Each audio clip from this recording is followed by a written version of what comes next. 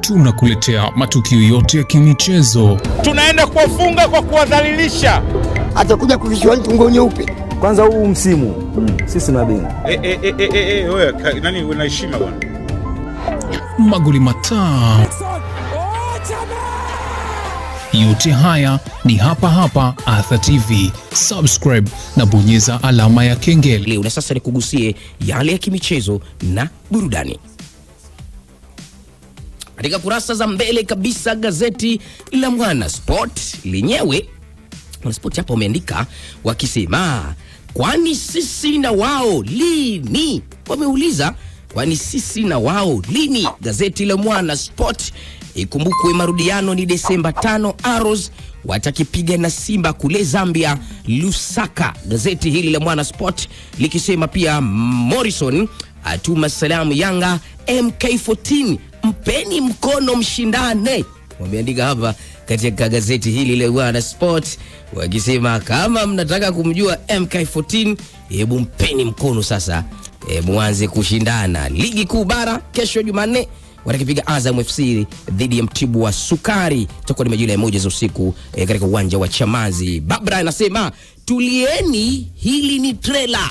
E, Simba ya msimu huu jamani, imejipanga kokote pale, yaani ndani na nje ya uwanja e, kuhakikisha kwamba inapata ushindi kwenye kila mechi. Kurasa wake watatu gazeti la Mwana Sports lenyewe limeandika hivyo e, likisema Babra anakwambia tulieni, hilo ndio trailer kuomba muvi lenyewe laja linjiani.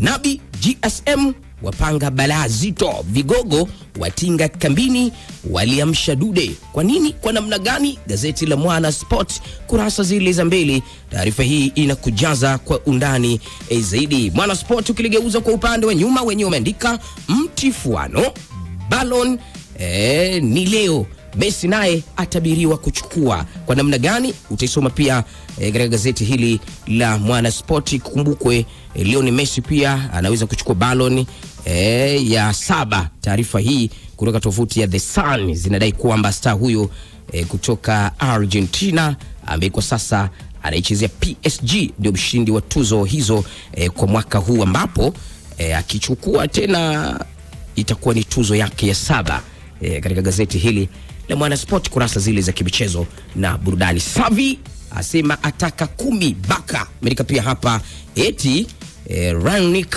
anamleta Haaland imeandika hivyo du Arsenal huko ni majanga. Conte naye hajali ila subirini muone. Gazeti hili la Mwanasport kurasa zile za kimichezo na burudani. Katika gazeti Habari Leo kurasa za kimichezo na burudani, wao wanaandika wakisema Morrison arudisha furaha Simba, wameipa uzito wa juu katika gazeti la Habari Leo.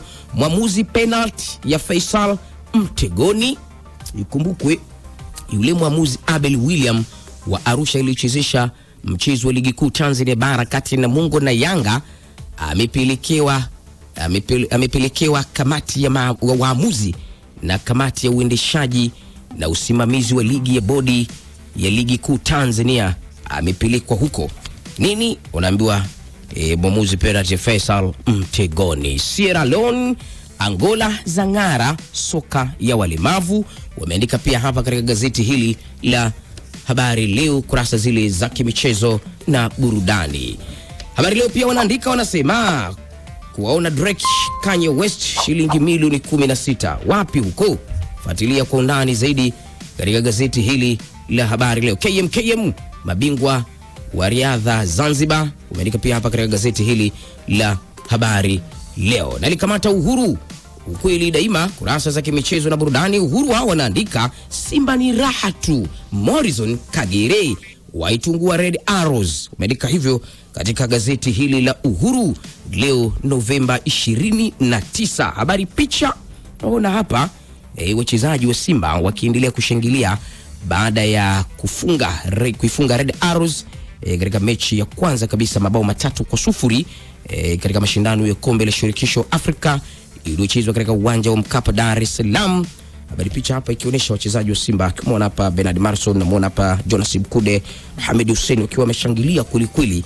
Tuisoma hii katika gazeti hili la Uhuru. Mtibwa Sugar yamnyatia Tambwe, imeandika hivyo katika gazeti hili la Uhuru, wakati wakiandika Nabi e, kuongeza mastaa wawili wapi? Pitia pitia katika gazeti hili la Uhuru. Nipashe mwanga wa jamii wao wanaandika wanasema, Morrison shujaa Simba akitanguliza mguu kaf e, yaiongoza e, kuirarua Red Arrows mabao matatu kwa Mkapa. Sasa wanahitaji sare ili kuweza kutinga hatua ya makundi. Taisoma hii katika gazeti hili la Nipashe. Refa mechi ya Yanga na Mungo Kizimbani wameandika pia hii hapa katika gazeti hili la Nipashe.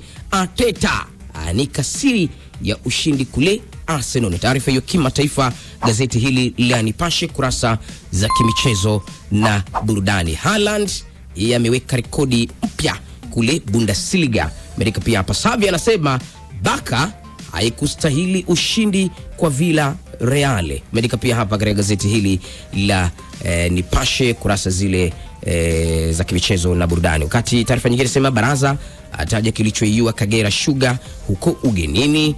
Eh, utoto wa mkera kocha Mbeya City. e, wachezaji wale wenye utoto utoto.